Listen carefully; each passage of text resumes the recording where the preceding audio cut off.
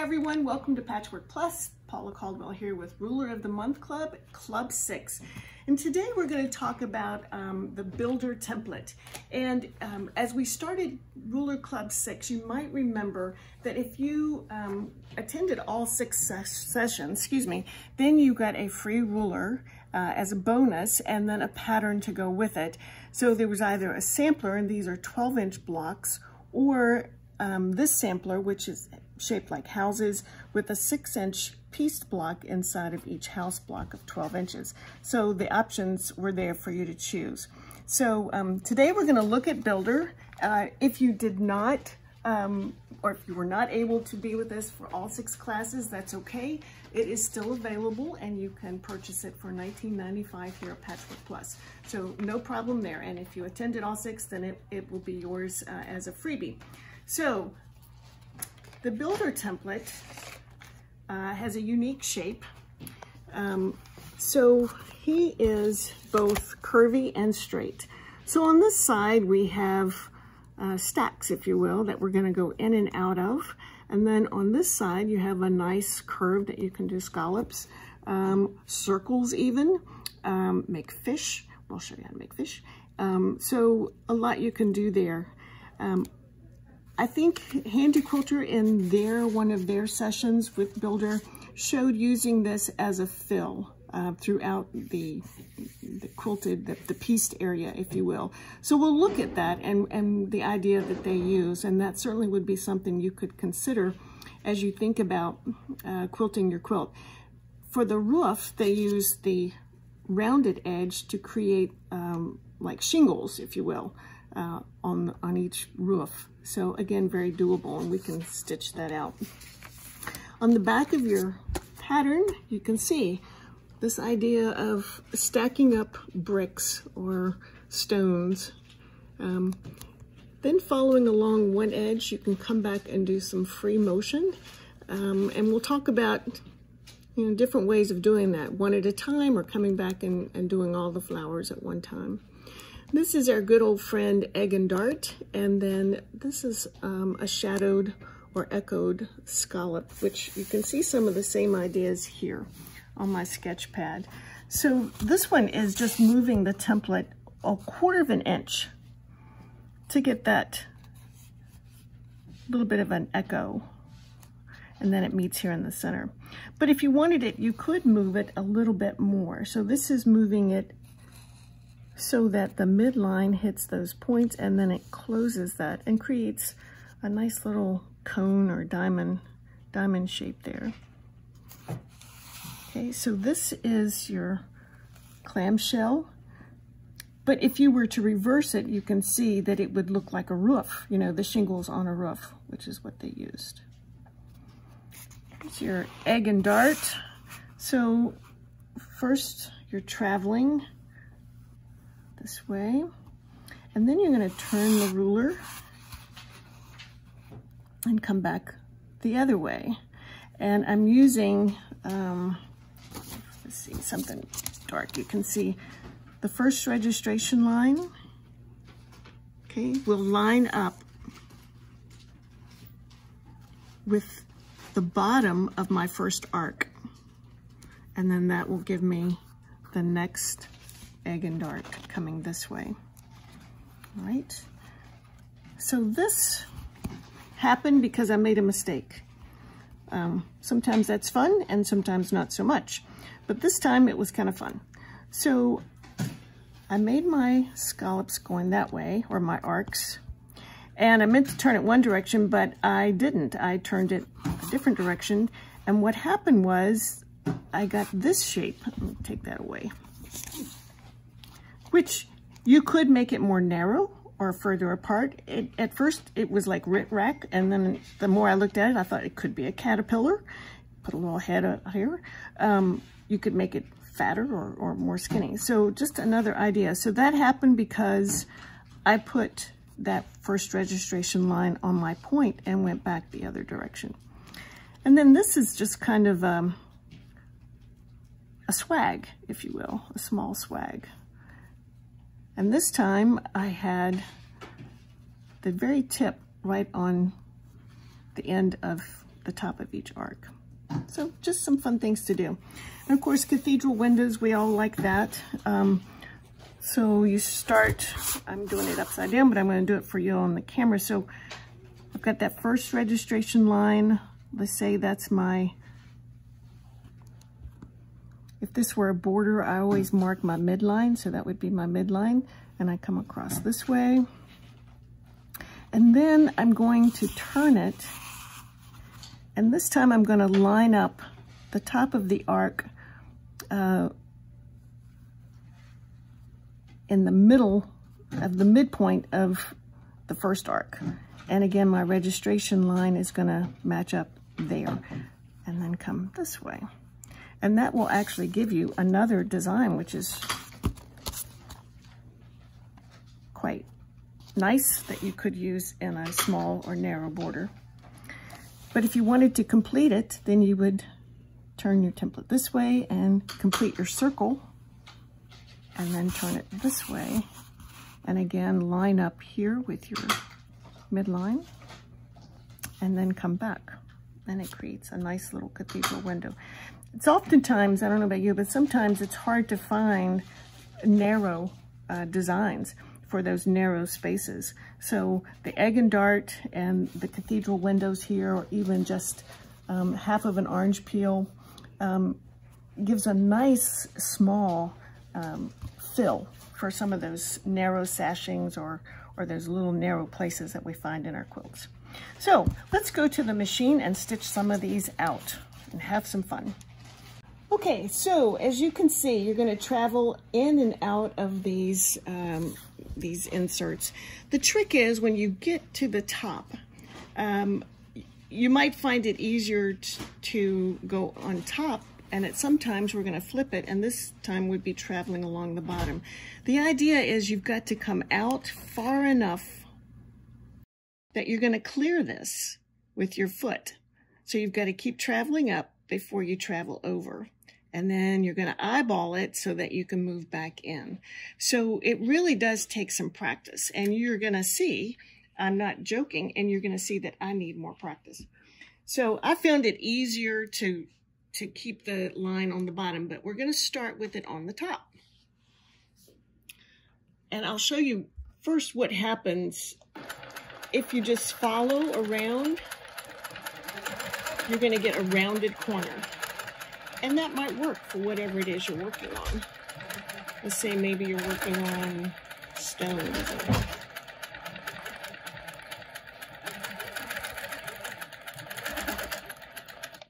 So if you follow this, I don't know if you can see that or not, it's going to round that, that edge. So if you want this stacked look of stones or bricks, then the trick is you've got to travel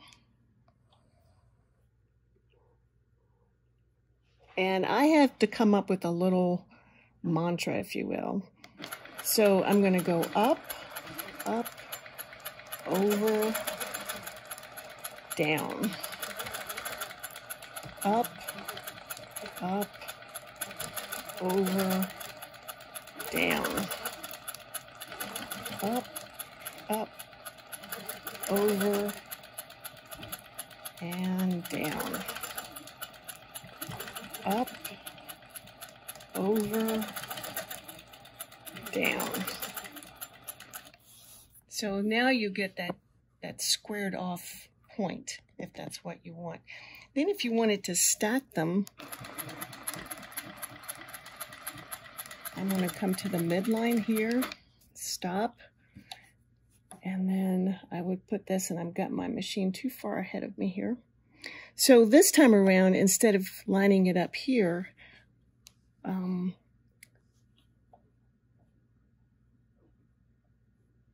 yeah, I'm to put that there. Okay, and then I'm to come back up, over, and down. Up, over, and down. Up, over, and down. So that's how you would stack them and just keep moving up that way. But it does take some practice. Um, and I, I would be less than honest if I didn't say that, or I found it did. It, it's just um, to clear that foot, uh, once you come up, you've got to clear enough space, a quarter of an inch. Um, once you have that first one in place, then it becomes your guide. But, um, you know, kind of talking your way through it is a good way to do it. Okay, so let's move on over this way. Another idea is instead of building out, you can face them inward. So this time what I'd like um, is the line that's going out to go in between these two. So let me move back here So now what I'm going to do is line up. So this time around, actually I need to turn my ruler this way. And I'm going to put this first registration line at the end of this point. Okay. And then I'm going to come up and go over and in. Down, over, in. Right, stop and adjust my hand. Down, over, down, over, in. That gives you opposing, and you could push those a little closer if you wanted to. Um, I think uh, Christine Whitney, the Handi Quilter educator that demoed this ruler, she mentioned that she uses this design on triangles like a carrot. I haven't tried that yet, but it certainly caught my attention because I remember her mm. saying that. Oh, yeah. So you can um, play with that a little bit and see what you can come up with. Another idea that was on your idea sheet was to, to make little flowers. Okay, so there are a couple of ways to think about doing that, and everybody's going to have their own preference, which makes the world goes round. So I'm going to put this here. So I'm going to travel here, and my lines are going to be going up, and these are going to be the stems to those little flowers that they that they show. So I'm going to go down, over, and up, down, over, and up, down, over, up. Kind of reminds me of an electrocardiogram. Okay, we'll do this last one. Now, one option would be you stitch one, you take the ruler away, make the flower, put your ruler back. And that seemed arduous to me. So what I decided was I did all of my stems and then you can come back and do your fill, which I gotta get my speed up a little bit.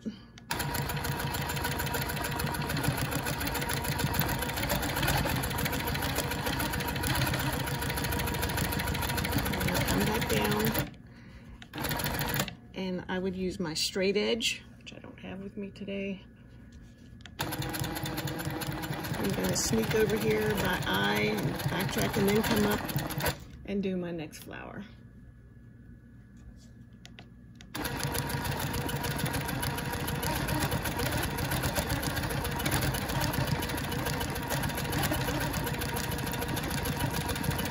And if you're really on a good day, you can just keep moving over and then.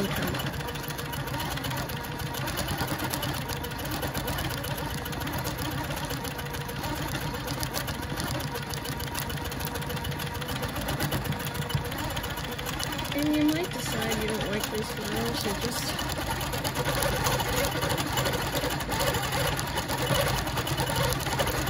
make your own flower.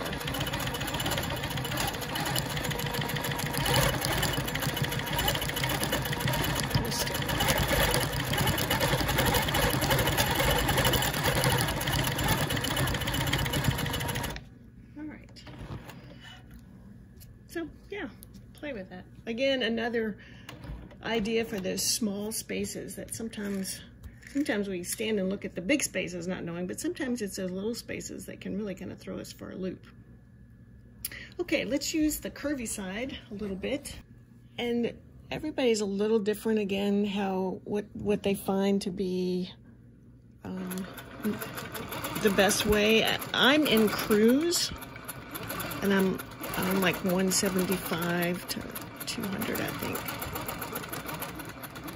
It's really about how smooth and consistent you can be.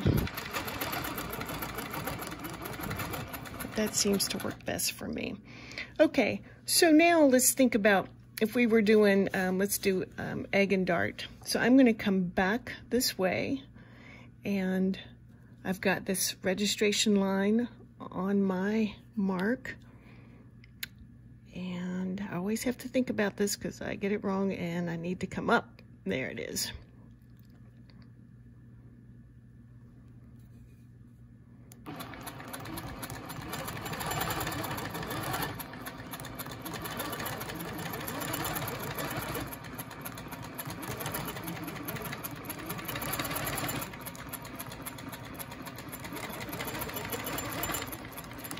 Points are missing up. There we go.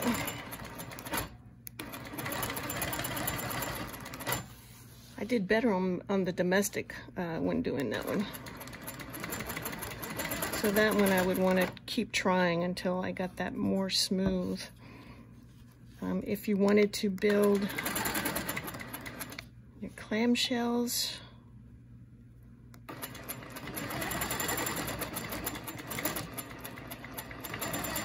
And as a reminder, I do have my ruler base on and the shore foot on. Again, for safety as well as for accuracy. Okay, so I'm gonna go straight up. So now when you start coming back, your registration line hits the top of that arc.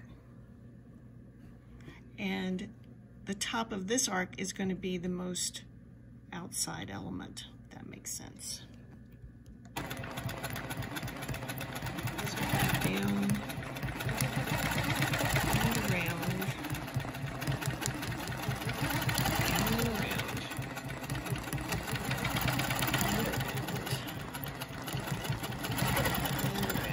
And I was pushing too hard on the ruler, which is why I got that bump. It's really easy to do and the machine doesn't like it when you do that. And it's going to win every time. Okay, and then if you want to keep, keep adding to that, then again, the same thing. So again, I'm lining up the registration line.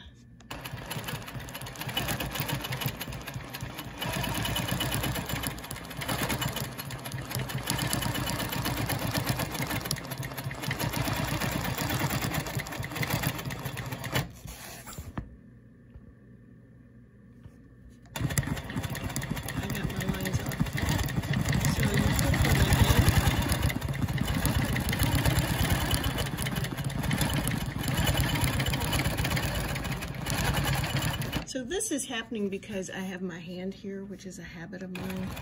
And if you have a long arm, I don't know if you've noticed that or not, but when you have it here and you're putting pressure on, it, it doesn't like to move in that one particular area. And um, I forget that until it happens, and then I have to, to stop and um, take it out. So just a reminder to, if you have your hand here, just kind of be aware of where it is um, when you're when you're stitching out.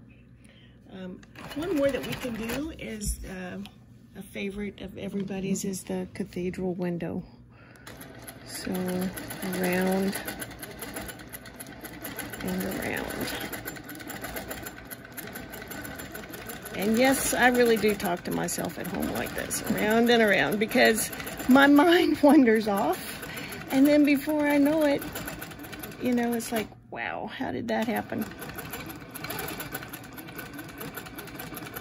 and it reminds me to, to hug because I want these to meet. So I need this registration line up here. There it is. It's so tiny, you know, I'm not used to that.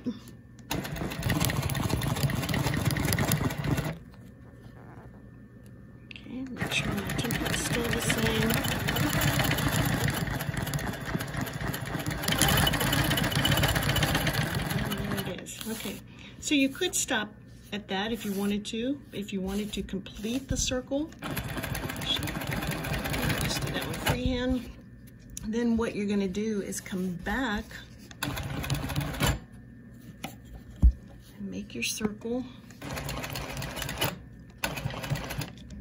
So again, that first registration line is now on the bottom. And I'm gonna kind of, if you will, mirror image already there.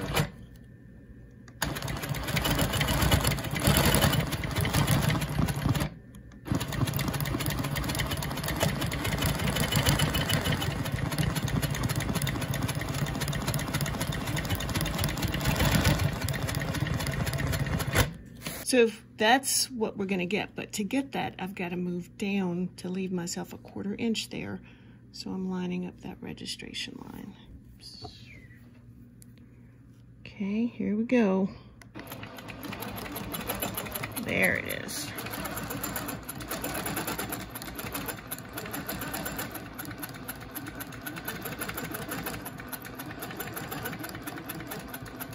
Yeah, there it is.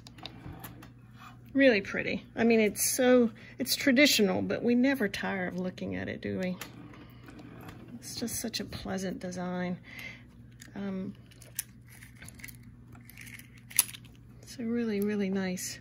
Okay, so a lot of things to do with this. We're, we're kind of used to those round edges, but again, uh, takes some practice to get used to hugging those lines as you move across. Um, I would be curious to see how you find using these square corners or these, these corners rather than rounded off um, to see what your experience is. Um, I'm sure I could learn something from you as well. So enjoy the builder use it. Um, you can use it again, as we said, for fill work, um, for making um, roofs, the shingles, cathedrals, uh, clamshells, dart and egg, and then impromptu flowers. So have fun with it. And yeah, we'll see you next time. Take care, be safe, and maybe soon we'll all be together again. Bye now.